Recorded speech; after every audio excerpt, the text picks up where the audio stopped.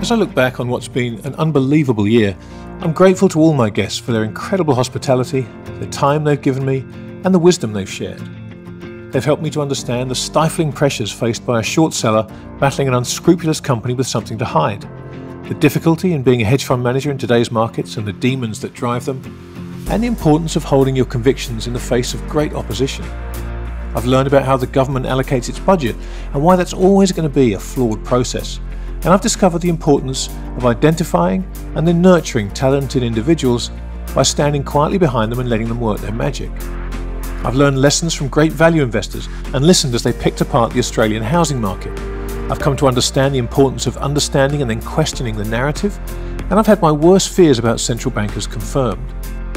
I've discovered that to be a successful mining executive, you need skilled colleagues and a whole lot of luck.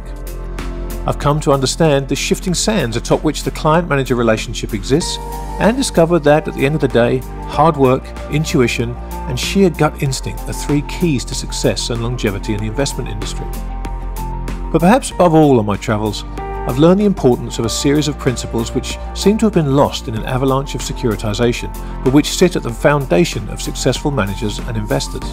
The importance of capital and the idea of protecting it through the cherishing forgotten values like stability, independence, and permanence seem so obvious, but the chord these ideas struck, not just with me, but with those of you who joined me on this wonderful journey, suggests a reminder was perhaps long overdue.